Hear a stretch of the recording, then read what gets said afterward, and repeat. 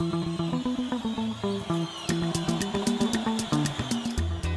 what's happening in that area? There, there, was a little flurry a few years ago about literally online purchasing, and again, because of the franchise system and many other factors, it's still a pretty significant investment.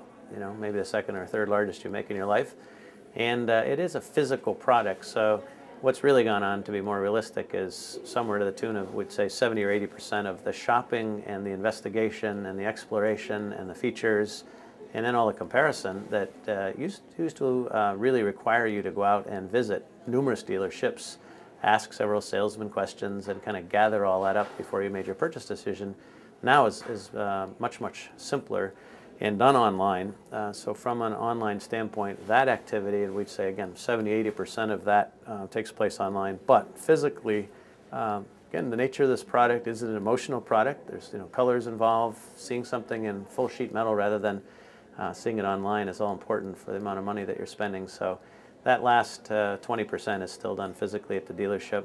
And of course, there's the price um, activity that isn't just the price; it's the financing, the terms, and the taxes, and the closing, and you know, it's it's still a, a complicated uh, um, closure. So that uh, push and, and feeling and a lot of news several years ago, boy, this is going to shift to being literally an online purchase like you're buying a computer, just hasn't happened.